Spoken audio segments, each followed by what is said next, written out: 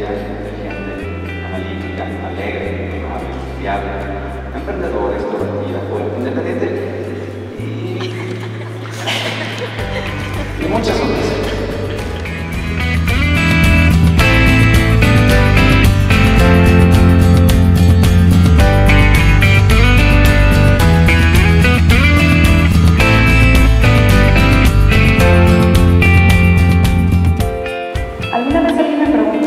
Preguntó que qué era lo que más me gustaba de ti y le dije que después de tu sedosa cabellera, lo que más me gusta de ti es que puedo ser yo misma cuando estoy contigo.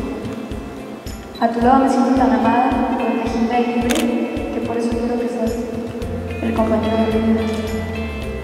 Te amo con tus virtudes y también con tus defectos, pues aunque a veces estos pueden llegar a desesperarme, dejarías de ser tú si no lo estuvieras